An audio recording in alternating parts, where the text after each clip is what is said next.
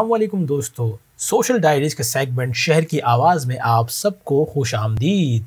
रबता office Gulshan Kaneez Fatima Surjani town scheme 41 की जानब से K M C united workers cooperative housing society Surjani town scheme 41 में एक प्रोग्राम मुनद किया गया। इस प्रोग्राम के मेहमान खसूसी public aid committee Jamaat Islami Karachi के सदर जनाब सैफुद्दीन एडवोकेट और जनरल सेक्रेटरी जनाब नजीब अयूबी थे। इस प्रोग्राम में united workers cooperative housing society Gulshan Kaneez Fatima Surjana town scheme 41 के ब्लॉक 8 के अलोटीस ने बड़ी तादाद में शिरकत की। इस प्रोग्राम का मकसद अलोटीस की जानब से Jamaat Islami public aid committee के लिए इजहार तशक्र था, जिन्होंने ब्लॉक 8 के अलोटीस की उस वक्त मदद की जब यहाँ कब्जा माफिया ने 2018 में असलहे के ज़ोर पर यहाँ कब्जा करके प्लॉट की कटिंग शुरू कर दी थी। तकरीब से खिताब करते हुए सदर पब्लिक एड कमेटी जनाब सैफुद्दीन एडवोकेट ने कहा।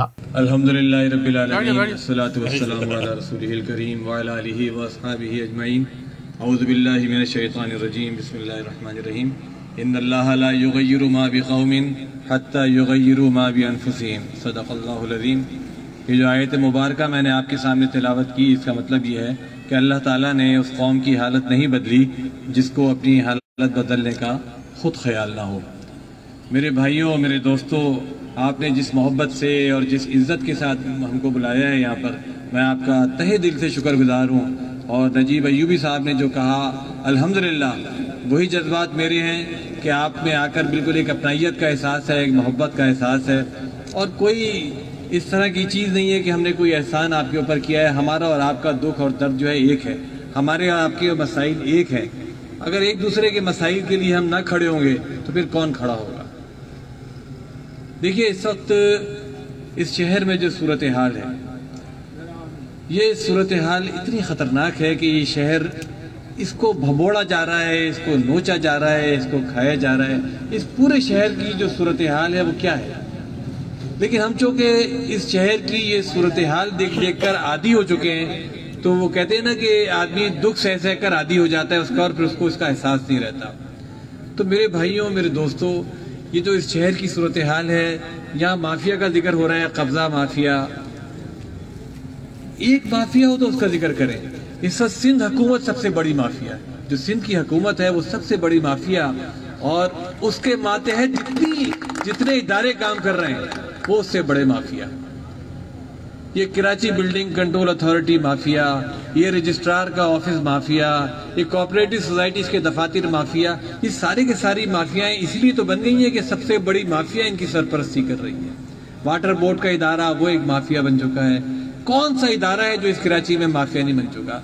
चुनाचा इन माफियाओं के नतीजे में फिर ये छोटी छोटी माफियाएँ जो हैं, जो ये कब्जा कर रही हैं, जो यहाँ पर दीवारें तोड़ तोड़ कर घुस रहे थे, उनको भी इन्हीं लोगों की सरपरस्ती की ये डिप्टी कमिश्नर का ऑफ़िस, ये भी माफिया है। सबने पैसे लूटने की खातिर कराची को ऐसा, ऐसी जगह समझ लिया है कि कराची चलो और माल बनाओ और पेट भरो और लोगों के हक मरे, लोग तबाह हो जाएँ, बर्बाद हो जाएँ। किसी को यहाँ इस बात की परवाह नहीं है।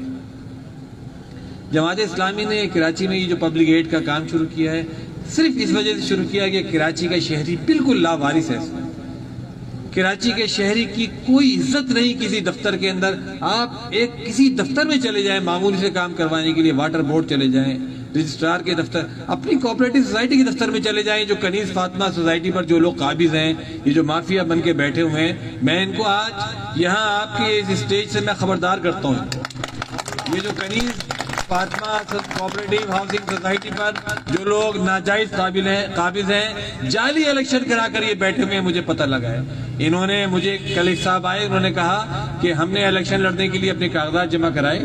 और जिस दिन हम वहाँ पहुँचे तो वहाँ इलेक्शन नाम की कोई चीज़ नहीं थी। हमको वापस लौटा दिया और दूसरे दिन वहाँ पर इंतबात में जीतने का ऐलान कर दिया जो लोग इस वक्त काबिज हैं।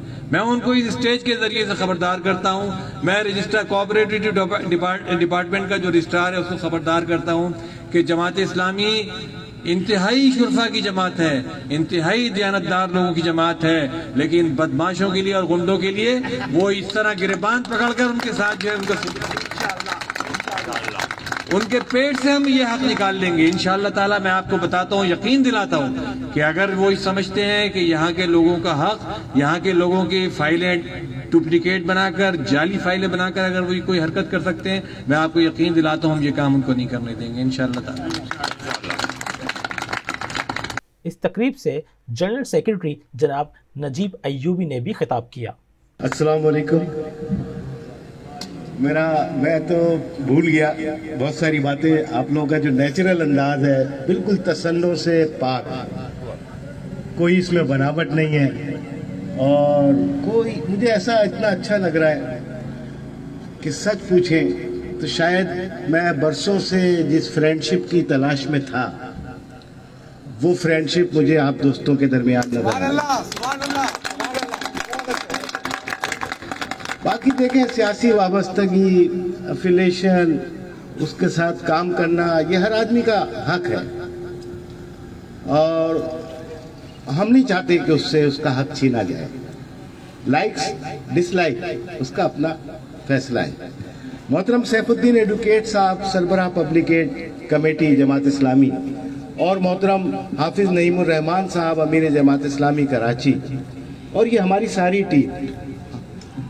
जब एक ड्रीम हमारे जहन में था कि हम कराची को लावारिस नहीं देखना चाहते, टुकड़ियों में बटावा नहीं देखना चाहते, और लोग परेशान, अपने गटर के ढक्कन में परेशान, कोई बिजली के कनेक्शन में परेशान, कोई ज़मीन की अलॉटमेंट लेने के बावजूद अपनी ईंट रखने के लिए परेशान तो ये ये हमसे देखा नहीं जा रहा था। हमें इस बात का अंदाज़ा था कि मुख्तलिफ़ जमातों में रहने के बावजूद लोग अपना हक ले नहीं पा रहे बस एक ख्वाब था कि कुछ लोग हमें मिल जाए, अच्छे, चाहे वो किसी भी जमात के हों। देखिए, अच्छे हर जमात में होते और उन अच्छों से ही वो जमात जो है, वो ज़िंदा रहती आज भी बहुत सारे अच्छे लोग मुख्तलिफ़ जमातों के यहाँ बैठे हैं। तो बस मुझे तो ऐसे ही लोग चाहिए भाई, हम कराची की तकदीर बदल देंगे। ये हमारा ड्रीम है। और पब्लिकेट का दफ्तर आपका अपना दफ्तर है। आप किसी भी वक्त फ़ोन करके आ जाइए। हमारी सारी टीम आपके लिए दीदा दिल फर्श राह है और यही हमारी कामयाबी का सबब है। तकरीब में हाजरीन के लिए पुरतकल्लुफ़ खाने का अहतमाम था, जिसे लोगों ने महसूस होकर खाया। गुलशन कनीस फातमा स्कीम 41 सुरजानी टाउन में वाक़ है और कब्ज़ा ख़त्म होने के बाद यहाँ के अलॉटीज़ बहुत खुश हैं और इस अमल से मुतमिन है और अब वो यहाँ आबादकारी के लिए काम कर रहे हैं।